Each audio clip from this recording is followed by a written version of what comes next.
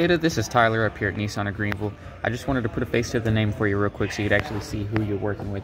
Uh, but my phone number's down in the description of this video. It's also in this email that I'm sending it to you in. So if you have any questions, any concerns, anything I could possibly help you with, uh, please don't hesitate to reach out to me. I'm more than happy to help however I can.